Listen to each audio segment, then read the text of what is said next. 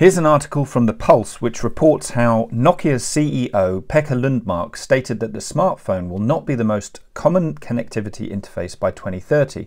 Instead, smartphones will likely be implanted right into your body by then. There is an alarming trend that's happening in the world, which is this. Technology is being used to push the boundaries of the human condition. Some might say to actually manipulate and transform the human body. Officials from the WEF are already talking about hacking the human body, replacing our God given biology with AI. This is a trend that they refer to as transhumanism. It's not something we consented to or voted for, and it's sold to us by CEOs in Davos on the basis of technical advance and convenience. But whose convenience, I wonder?